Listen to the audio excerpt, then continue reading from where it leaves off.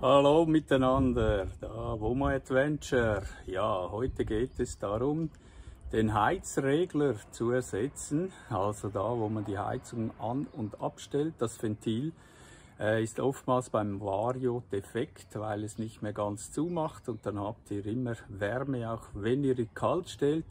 Und ja, jetzt zeige ich euch, wie man das macht. Dazu muss man zuerst einmal das Armaturenbrett ausbauen. Dann nimmt man diese Blende weg, he? da hat es rechts und links so Laschen. Und dann einfach rausziehen und da sind dann je eine Schraube rechts und links, die man löst. Links. Dann die drei Schrauben da oben, die sieht man ganz gut, lösen, Schrauben raus und schon kann man das Armaturenbrett eigentlich jetzt äh, rausziehen. Ich lasse die ganzen Kabel drin und lege es einfach nur so hin. Und äh, zur Sicherheit könnt ihr noch die Batterie abhängen, wenn ihr wollt.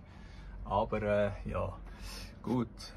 Dann geht es an die Mittelkonsole. Da gibt es auch wieder zwei Schrauben oben sichtbar. Hier eine, hier eine, dann unten hier eine und hier eine. Die kommt man von so schräg, schräg rein, ganz gut. Dann die Knöpfe einfach rausziehen und danach kann man das eigentlich nur ein bisschen nach äh, hinten klappen. Das reicht schon, weil wir müssen eigentlich nur dieses Teil da ausbauen. Ich denke, das sollte reichen. Das Heizventil seht ihr hier. Da kommt der Bowdown-Zug zum Heizventil und dieses muss ersetzt werden. Dann hier die Düsen, die kann man eigentlich da rausziehen, also mit dem Schraubenzieher da unten und dann hier dieses Lüfterteil einfach raushebeln. Voilà, das war's. Den habe ich auch schon, damit das Armaturenbrett hier frei ist. Dann hier hinten hat es einen Gummi. Den einfach, den habe ich jetzt da unten bereits hingelegt, einfach rausnehmen und dann seht ihr gleich, da sind überall Schrauben. Haben ein paar rausgenommen. Die müssen dann alle gelöst werden. So, was man auch noch machen muss, ist hier der Einstiegshebel, der muss ausgebaut werden. Dazu diese Blindstopfen raus. Da unten sind größere Torx drin, die muss man rausschrauben. Plus das Heizteil muss man rausziehen, weil auch da hinten hat es zwei Schrauben. Dazu muss man das hier wegnehmen, einfach hier nach hinten ziehen, dann geht die Klappe weg. Dann das Armaturen, äh, das äh, Handschuhfach hier hat überall Schrauben. Ihr seht, die müssen alle raus, auch der Sicherungskasten. Da die Abdeckung muss raus. Und dann kommt man auch von hinten dazu. Zeige ich euch schnell.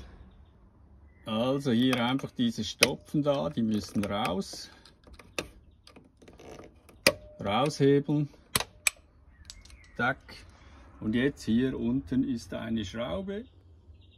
Also hier drin eine 30er Torx und äh, die einfach rausdrehen.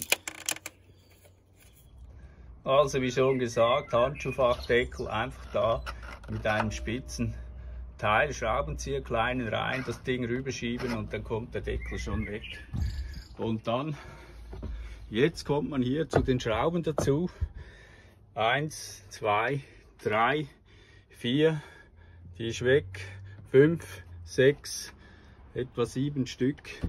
Und dann kann man das Teil da rausziehen. So, also, jetzt kommt das einfach raus. Das war's. Müsst ihr nicht mal leer räumen, auf die Seite legen.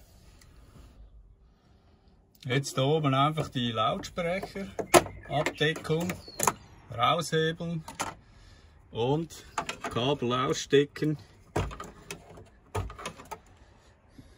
Da könnte man auch drin lassen, aber egal.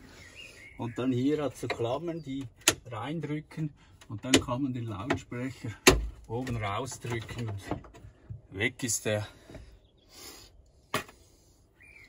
So, und dann hier den Schlauch Luftschlauch einfach rausziehen. Und jetzt kann man von hinten hier, hoppla, zack, schon draußen einfach am Lüfterausgang drücken und dann kommt das Teil raus. Da braucht man also nicht diese Halter und so weiter, geht alles ohne. So, und jetzt werden diese zwei hier drin gelöst. Ich mache jetzt das nicht mit einem Akku, ich mache das von Hand, wie in alten Zeiten. Geht nämlich auch, viel schneller ist man sowieso nicht. Schrauben, weglegen. Vom Armaturenbrett sind eigentlich alle gleich, sie sind schwarz, kann man eigentlich gut äh, unterscheiden. Muss jetzt einhändig arbeiten. So. Voilà. ist eine runtergefallen, die muss ich natürlich sofort holen. Dann die da noch umdrehen. Raus. So. Das war's. Jetzt kommt man zu dieser Schraube dazu. Wegen dem muss man das eigentlich machen, wegen dieser Schraube.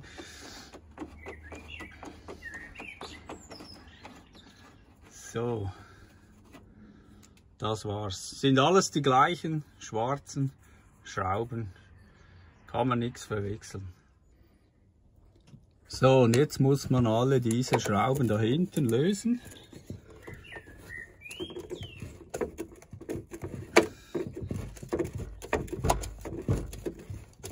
Also die ganze Reihe hinter dem Gummi, der kommt ganz einfach weg.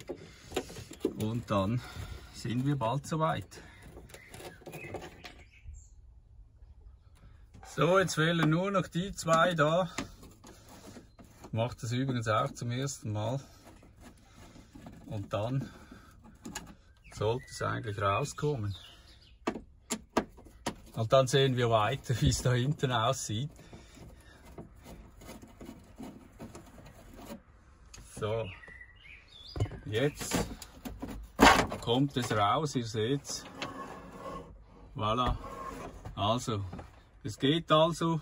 Jetzt muss ich gucken, ob ich da dazu komme dann, aber es geht auf jeden Fall, ohne dass man alles abbaut. Jetzt brauche ich beide Hände. So, als nächstes das Lüfterteil weg und jetzt seht ihr, kommt man da schon dazu. So, jetzt nehme ich noch diesen Lüfterschlauch weg. Da ist eine Sicherung einfach rausziehen. So. Und jetzt könnt ihr den Lüfterschlauch abziehen. Jetzt habt ihr mehr Platz. Lasst ihr ihn irgendwie da unten. So. Ja, der ist lose. Tschüss. Der hat jetzt Urlaub. So, also so sieht das aus. Und das Teil da muss ersetzt werden. Aber Achtung, bevor ihr jetzt hier einfach da die Leitungen löst, das ist der Rücklauf, vermutlich das ist der Vorlauf, äh, müsst ihr zuerst vorne die Schläuche wegmachen und die Flüssigkeit rauslassen, weil hier ist das Element, das ist voll mit Flüssigkeit. Und wenn ihr jetzt losmacht, dann habt ihr die Überschwemmung im Innenraum. Also jetzt Wasser vorne bei den Heizschläuchen einfach wegmachen und äh, Wasser raus. So, jetzt geht es hier vorne weiter. Die zwei Schläuche, die müssen weg. Ich habe die Schläuche hier abgeklemmt. So habe ich übrigens die Heizung immer abgestellt. Jetzt habe ich noch einen zweiten hingemacht, damit mir nicht zu viele Soße Reis läuft. Dann kann man die Briden hier, die, äh, wie nennt ihr sie, Rohrschellen, lösen. Ja, ich sehe es schon blutern. Jetzt hole ich noch ein Becken. Stelle noch ein Becken unten hin. So, also beide Schläuche ab da. Der Rauch ist weg. Dann läuft es hier natürlich raus und leert euch das ganze Heizelement. Und da unten ein Becken hinmachen, damit es da schön rein läuft. So, jetzt denke ich, müssen wir diesen Gummi wegmachen. Da einfach mit dem Schraubenzieher da unten ran und dann könnt ihr den so raushebeln. So, sind die frei und jetzt rausziehen. So, jetzt geht es an den Ausbau. Jetzt mal hier diese lösen. Dann die Kreuz da, das ist ein Halter.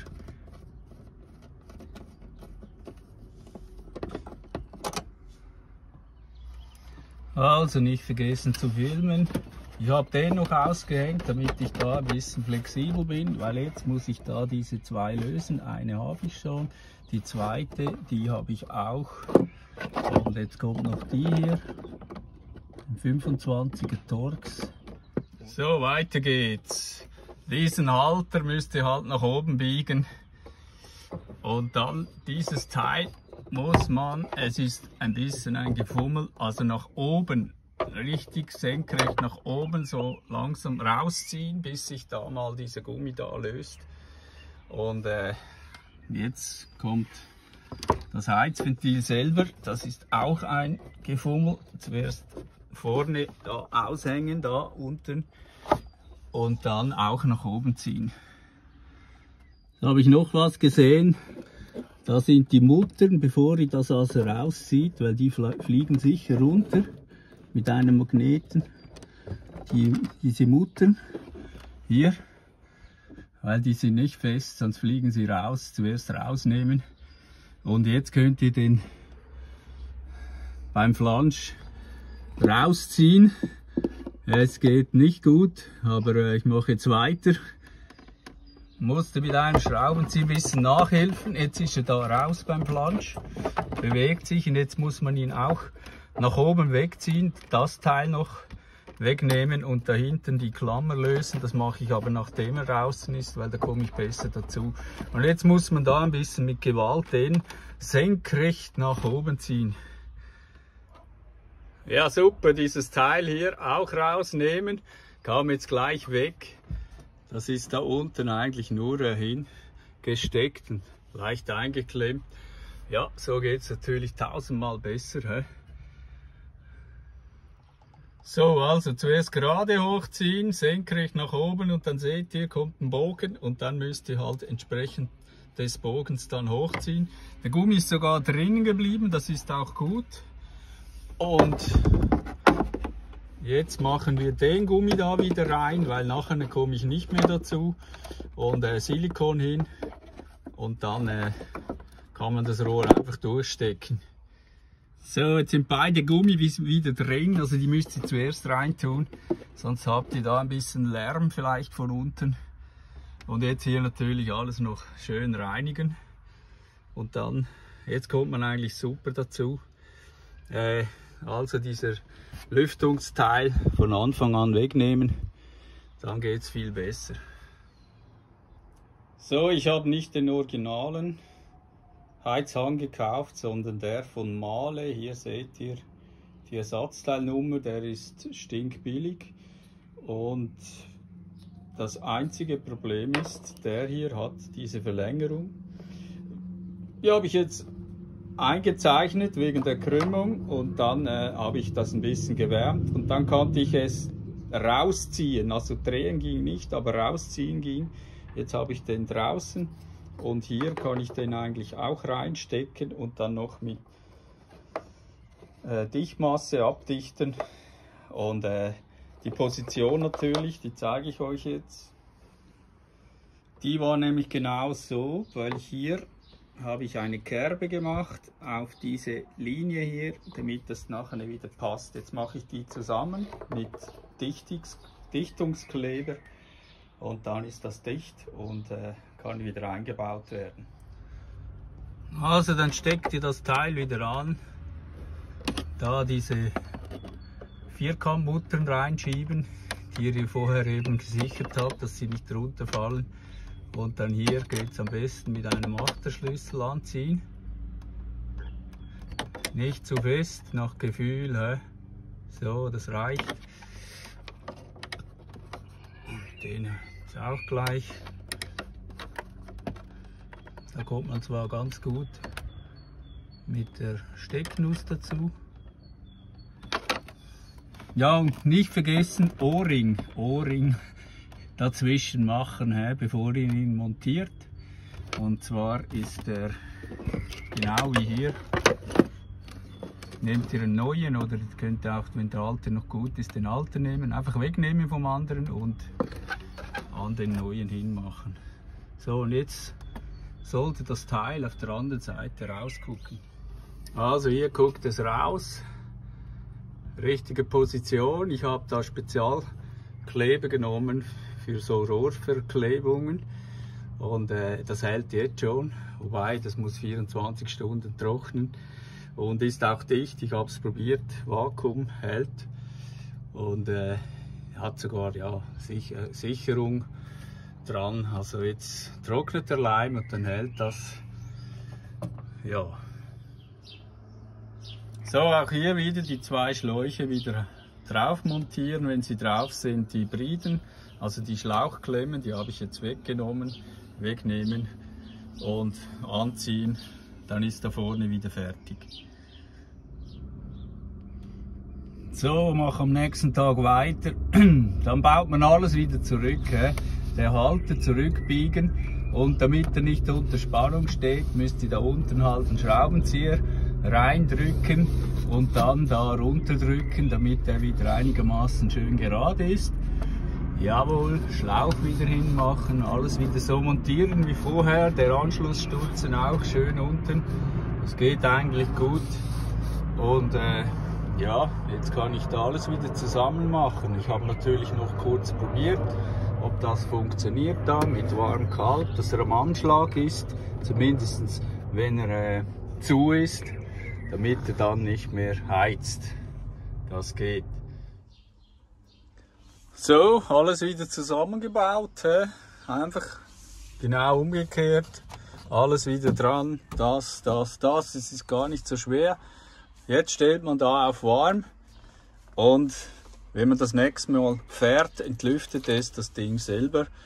Also ich starte jetzt nicht extra, das macht es dann automatisch. Ich muss jetzt nicht heizen. Da muss man noch da vorne am Expansionsgefäß noch äh, kontrollieren und nachfüllen. Und ja, das war's dann.